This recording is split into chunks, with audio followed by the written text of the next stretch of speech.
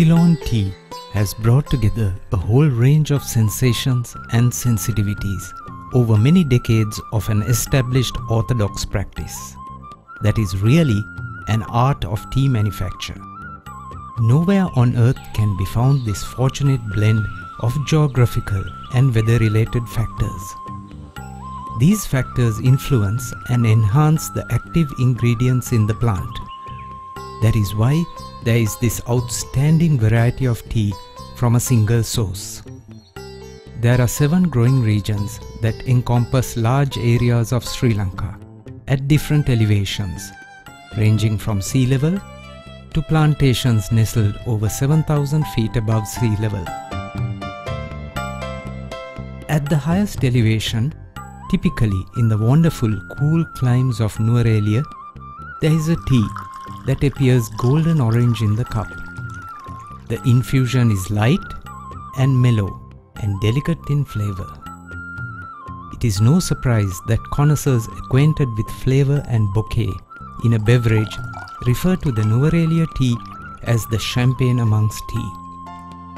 There is a rationale for considering this high-grown tea as the finest in flavor and aroma. Such tea is best savored without adding sugar or milk in your cup.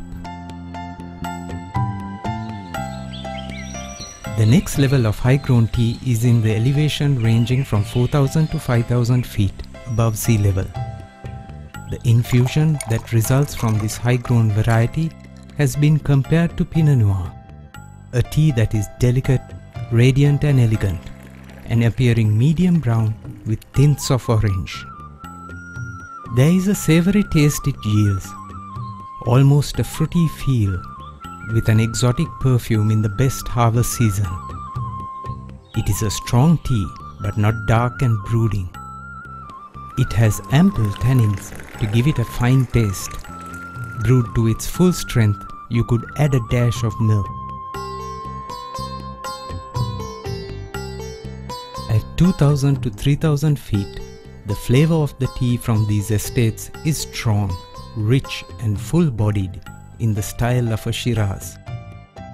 This brew has the tendency to wake one up with an extra dimension of complexity, leaving a fine, energized feeling. You can enjoy a cup after a full breakfast with milk and sugar, but connoisseurs would stick with the plain flavor of this mid-grown tea.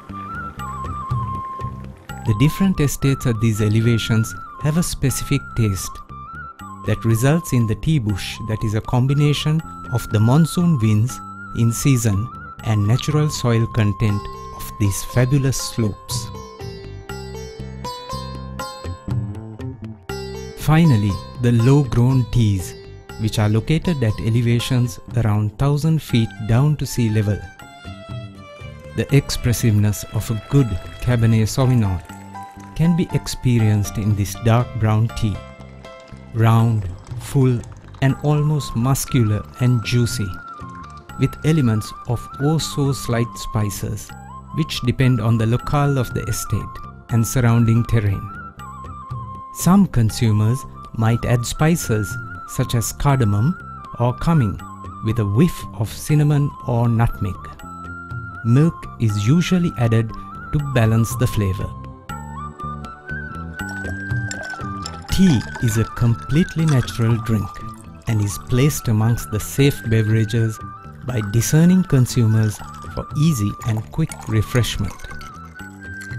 Ceylon tea is cultivated in varied elevations in this tropical paradise and sets the benchmark as the finest tea in the world.